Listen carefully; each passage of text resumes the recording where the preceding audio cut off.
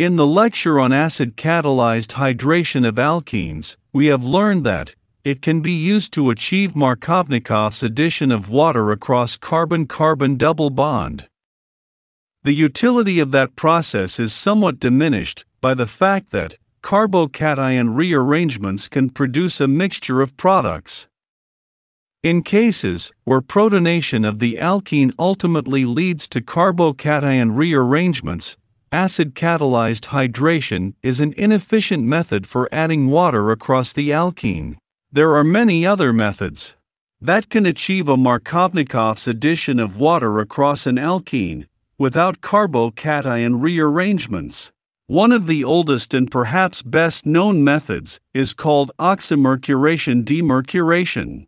To understand this process, let us explore the reagents employed. The process begins when mercuric acetate dissociates to form a mercuric cation. This mercuric cation is a powerful electrophile and is subject to attack by a nucleophile, such as the pi bond of an alkene.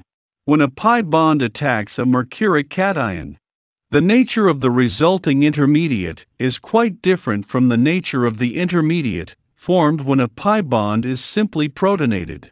When a pi bond is protonated, the intermediate formed is simply a carbocation, as we have seen in acid catalyzed hydration lecture.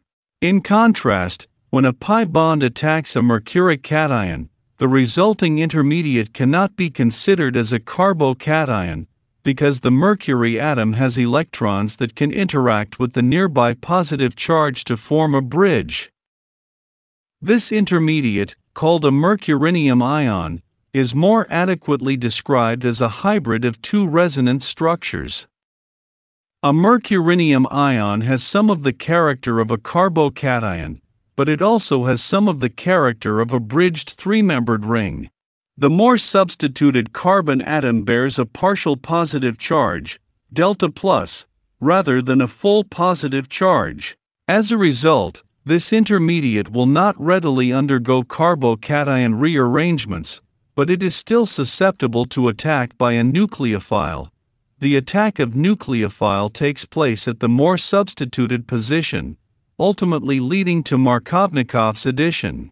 After attack of the nucleophile, the mercury can be removed through a process called demercuration, which is generally accomplished with sodium borohydride. There is much evidence that demercuration occurs through a radical process. The net result is the addition of H and a nucleophile across an alkene. Many nucleophiles can be used, including water. Consider this alkene is treated with mercuric acetate in the presence of water. The first step would be mercuration of double bond to form mercurinium ion.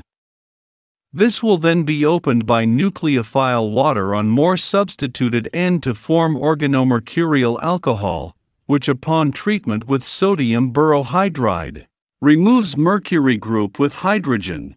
When the same compound is treated with mercuric acetate in the presence of ethanol, the mercurinium ion will be opened by ethanol to form an ether, called organomercurial ether which is then treated with sodium borohydride for demercuration. When alcohol is used as nucleophile, it is called alkoxymercuration demercuration. Thus many nucleophile can be used to open the mercurinium ion and form products accordingly. In nutshell we should remember the following important points about this reaction. 1. Oxymercuration demercuration of alkenes, achieves Markovnikov's addition of water across carbon-carbon double bond without carbocation rearrangements. 2. The intermediate is the bridged three-membered ring called mercurinium ion. 3. The addition of Hg and OH occurs in anti-fashion. 4. Any stereochemistry set up an oxymercuration step, that is Hg and OH anti-arrangement, is scrambled by demercuration step. 5. Therefore H and OH group may be cis or trans to each other in the final product.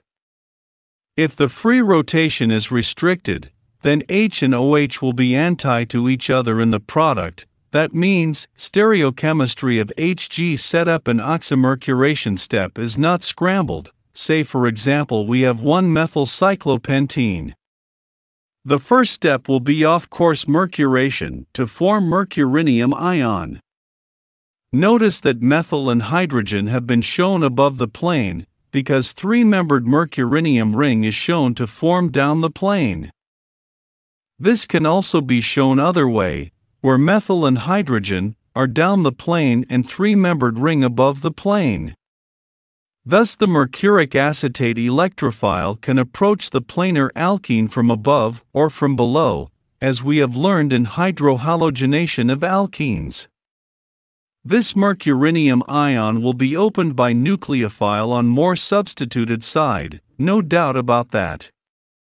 But since in this intermediate, the mercurinium ring is shown down the plane, the nucleophile, water or any other, will approach from the opposite side. That is, above the plane.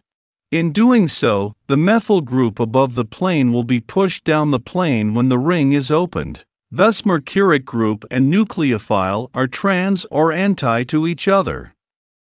This is then reduced with sodium borohydride to replace mercuric group with hydrogen, without disturbing stereochemistry, to form the product, in which nucleophile, methoxy group and H are trans to each other. Consider the oxymercuration demercuration of 1-pentene. The first step, off course, will be the formation of mercurinium ion. This will be opened on the more substituted side to form this organomercurial alcohol which is then treated with NaBH4 for demercuration to replace mercury group with H. In the same way consider oxymercuration of 2-pentene. Again the first step is formation of mercurinium ion. Now second step is opening of this mercurinium ion on more substituted end. But in this case the three-membered mercurinium ion is substituted by one alkyl group on both ends. Therefore water can open this mercurinium ion on either side, to form two intermediates. Each of these will then be demercurated by NaBH4 to form products. Thus oxymercuration demercuration of 2-pentene gives two products which are positional isomers. Now let us predict the product for these reactions, and compare the products if an acid catalyzed hydration had been performed rather than an oxymercuration demercuration. In case of this compound, the oxymercuration will give this organomercurial alcohol, in which mercuric acetate group is on less substituted end and hydroxyl group on more substituted end. The mercury group is then replaced with hydrogen in the presence of NaBH4 to form secondary alcohol as product. Now let us see the product formation via acid catalyzed hydration. The first step will be protonation on less substituted side to give more substituted, secondary carbocation in accordance with Markovnikov's rule. This secondary carbocation can rearrange via 1,2-methyl shift to form a more stable tertiary carbocation which can then be captured by water to form this tertiary alcohol as a rearranged product. Notice the difference in the products obtained by two methods. Acid catalyzed hydration operates via carbocation rearrangement, while as rearrangements are not possible in case of oxymercuration demercuration route. This is the major advantage of this reaction over acid catalyzed hydration. In the similar way, for this second example, oxymercuration forms this organomercurial alcohol, with hydroxyl group on more substituted end as expected, which is then treated with NaBH4 to replace mercury group with hydrogen to form secondary alcohol as product. In contrast, the acid catalyzed hydration, in accordance with Markovnikov's rule, leads to formation of secondary carbocation. This carbocation rearranges by methyl shift from adjacent carbon to move the positive charge on later and form more stable tertiary carbocation. This is then captured by water to form tertiary alcohol as rearranged product. Notice the difference in the products obtained by two methods. Therefore in this case, if we need secondary alcohol as product, the acid catalyzed hydration will be a bad choice, because it will give tertiary alcohol product via carbocation rearrangement.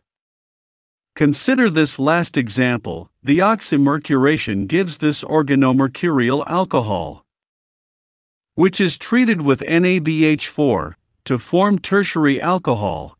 The acid catalyzed hydration will form tertiary carbocation, upon electrophilic addition of proton, in accordance with Markovnikov's rule.